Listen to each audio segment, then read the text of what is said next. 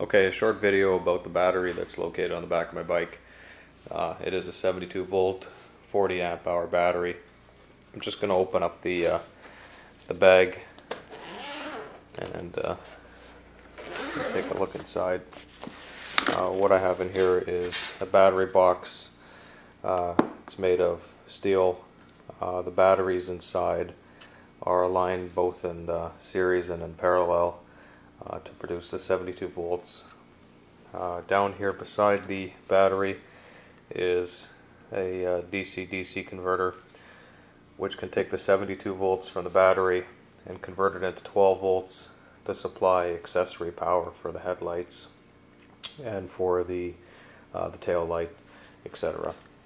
Uh, on the top of the battery bag here, what I've installed is a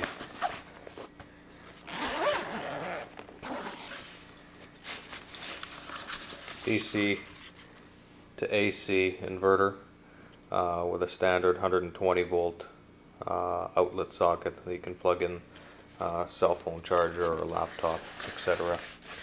Uh, also inside the flap is the Anderson connector uh, that charges the battery. Uh, the charger, which I have located over here just behind the bike, also has an Anderson connector that I can plug into the battery. It can only go in in one direction.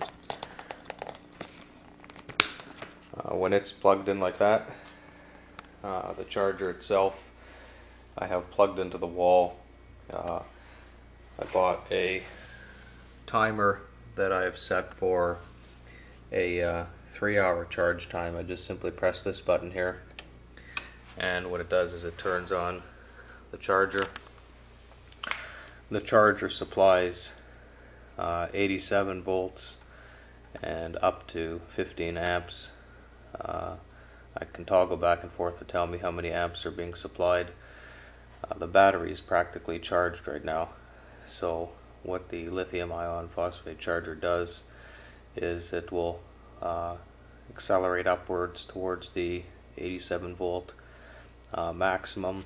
Once it's reached that, what it'll do is it'll slowly uh, begin the process of counting down from 15 amps. It'll uh, slowly trickle down to zero amps, at which point uh, the battery is completely charged.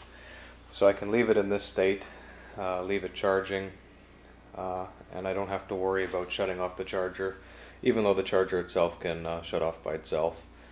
Um, I do have the backup here on the wall, which is, like I said, it's a countdown um, from four hours to zero.